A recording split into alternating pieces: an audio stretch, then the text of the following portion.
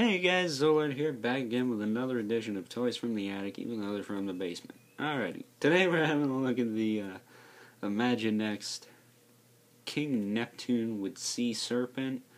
Um, could just call it King Neptune, not even give a crap. Now, this thing used to have an eel, which I thought I found and gave to send somebody to play with the stuff, but apparently I'm insane, so that is not here, but it's a little, it's a little gold eel. It's pretty cute looking, just like how I thought I found the iguana under the big pirate set, and apparently I did not. Whatever. Um, comes with a oh, I bought the camera. Comes with a King Neptune. You can pull that off, and ooh, look, his beard is silver. At least pearlescent. That does this does not make sense to me. You put the thing on, and the beard is underneath the the, the what the no whatever. Should look like a crown anyway.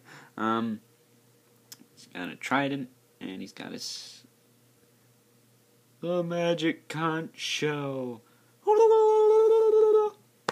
And uh, he actually has a, if you want to call it that, two articulation.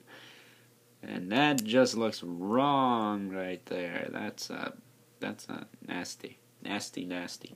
Um, onto the serpent. Um, this thing is freaking cool. Uh, I like this guy. Uh, what he does is, well, I'll show you. He will snap your freaking. Trying to get him.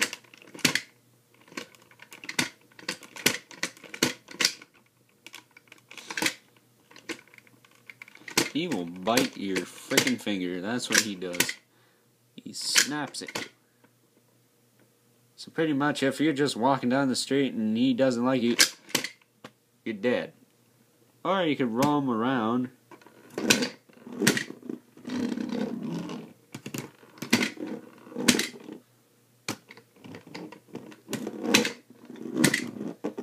And he does that. In other words, I'll do it for you manually.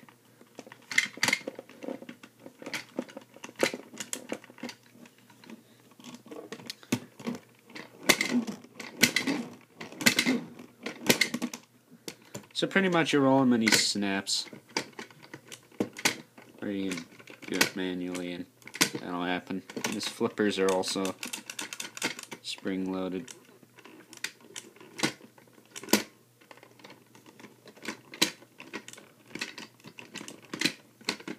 So yeah.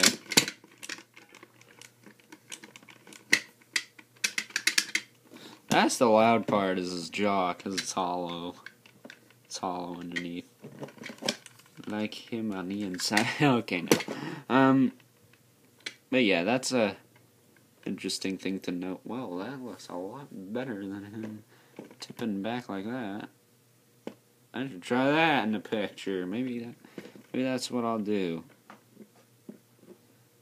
Rest on his breast instead of his. That sounds weird. Rest on his chest instead of his um tail. That if you want it to look good, that's what you're gonna do. So overall, King Neptune figure is not great, but the serpent is awesome. It's different.